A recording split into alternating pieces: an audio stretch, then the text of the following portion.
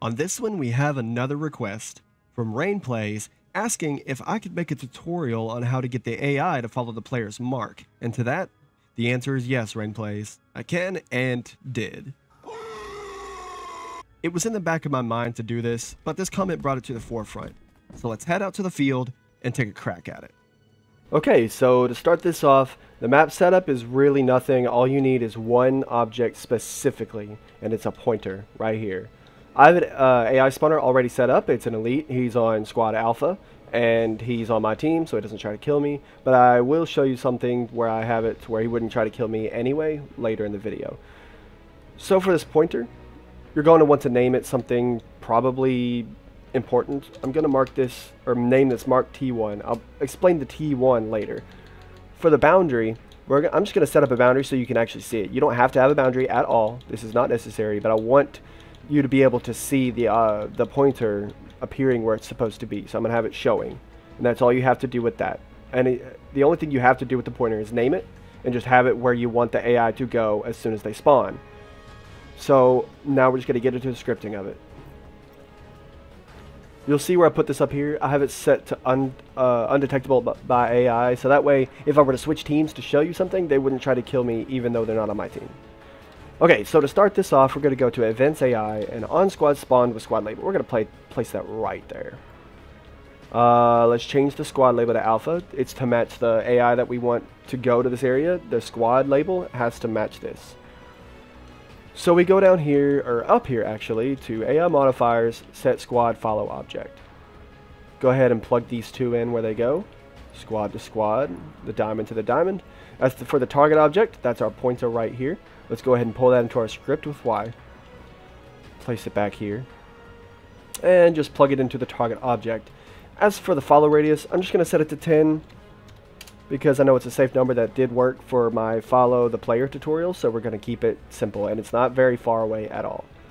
So there, now what he'll do is when he spawns, he's going to go straight here. But how do we get this to move to our mark? Well, that's pretty much the, the same amount of nodes and the same amount of simplicity. So we go down here to events players and grab on player mark. Place it about right there. Okay, now we get over here from objects transform go down here to set object position. We can just go ahead and connect these two up here. The callout position will be the position. Is relative. I always have set to false because I had it set to true and it acts very weird. Very weird. So it's safe to always have it on false. Uh, plug it in to mark T1, which is our mark. Uh, plug it into object. And now it will work. That's all you need. It's that simple.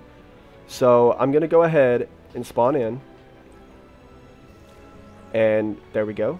Okay. See, it moved, but he also follows it. He'll go anywhere where we mark it. And you can mark as many times as you want, move it all around the map, and he will go to the last spot that it stays. Or you can just kind of do it like this, and he'll follow a... Oh, see, I have already hit the mark limit. So if you mark it too many times, just in general, the game's going to lock you out of marking for 30 seconds. But that's okay, because that's all you needed to see. So if you want the AI to follow just any player's mark at all, that's what you do. But I'm sure you don't want to just do that. So I'm going to go ahead and add on the second part of the tutorial here to allow you to separate it between the teams. We're going to go ahead and place one over here. And we're going to name this one Mark T2 for Mark Team 2. We're going to keep it just like that and duplicate him. The only difference is we're going to switch his squad to Bravo. Let's go all the way down here to spawn logic. Change it to Bravo. You don't have to change their team, but if you uh, have them on a separate team that you want to go and you know do this stuff, you're going to want to set the team to Cobra as well, or whatever team you want following. So we're going to go ahead and grab this and bring it on into our node graph as well. We're going to set this back here because what we're going to do is we're to scoot this down a little bit. And now we're going to duplicate this. We're basically going to set up the same nodes all over again, but we're going to add a branch down there on the on the on player mark. We're going to change this to Bravo. Go ahead and hook that up here, the same way we did before. Now you're going to have the object that uh, Bravo follows as mark T2. So how do we get it to where it will only move if a player on that team moves it? Well, that's where we get rid of this connection here. We keep everything else though. And we go down here, or up here, to logic. My directions are all out of place today. Go ahead and hook this up here. And hook the if true up to here. Now we need to go down here to players and grab get player team. Go ahead and place it right under here. We're going to hook player up to the player there. So now we know that the player that marked, we're going to get their team. And what do we do? We grab a logic compare and compare the teams. Go ahead and plug team the team up to team A. And then on team B, it's going to see, is it team 1? Is it team Eagle? And plug that into the condition. And there we go. So if a player marks, it's going to check, is their team team 1? Yes. Okay. Well, then if it is, they're gonna it's gonna move mark T1, which is our first pointer, so that our first elite will follow that. But if it's not Eagle and it's Team 2, we only have to add one node, and it's right here. Let's go ahead and move this back a little bit.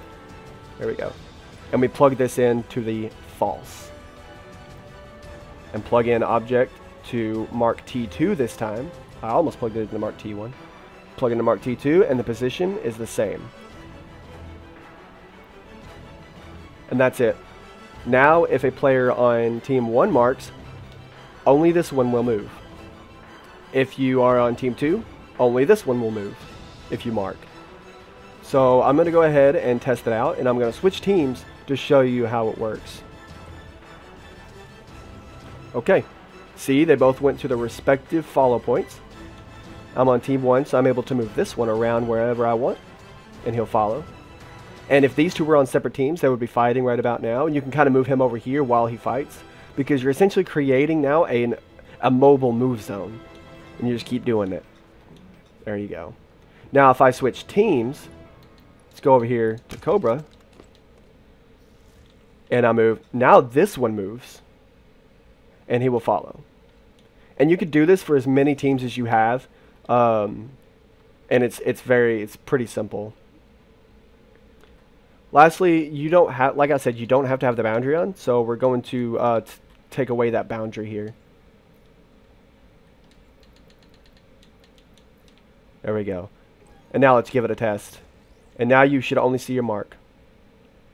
And he'll go straight to your mark no matter where it's at and you won't have to worry about the pesky box being in the way. And the pointer doesn't interact with anything in the world. There's no collision, and you don't see it. So there you go. That's how you get AI to follow the player's mark. If you didn't notice it at first, I did the basic explanation first, and then I added in the extra afterward. I hope that keeps things much simpler in the future. And I'll see you guys tomorrow with a brand new one.